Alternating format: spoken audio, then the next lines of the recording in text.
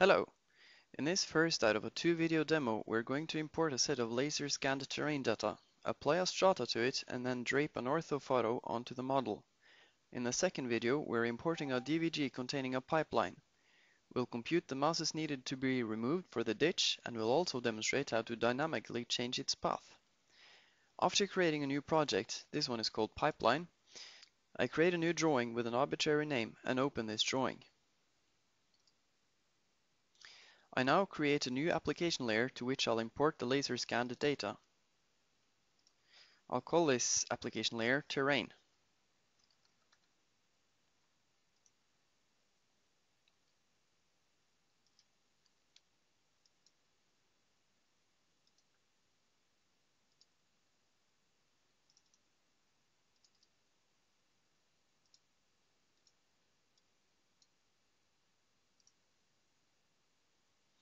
I will use classification filters and gather statistics to find out what kind of points uh, are represented in the file.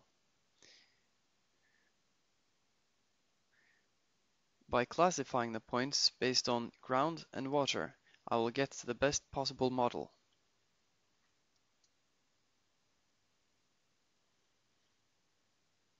After importing the model, I want to have an overview of the situation in 3D. This looks like a good model. The next step is to assign a strata to the layer and thereby turning it into a terrain model against which we can perform mass computations.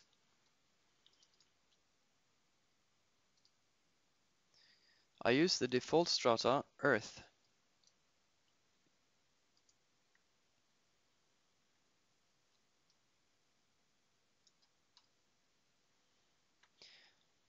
I can now apply a filter so that I don't see the original point points in the point cloud.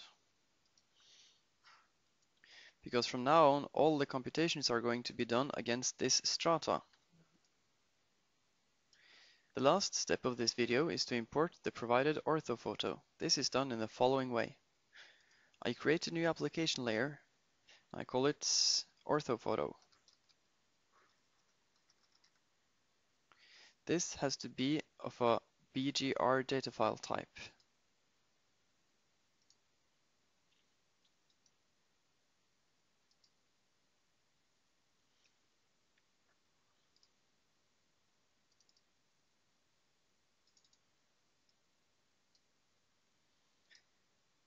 These picture files already comes with predefined coordinates boundaries. If they weren't provided, I could fairly easily have figured out them myself.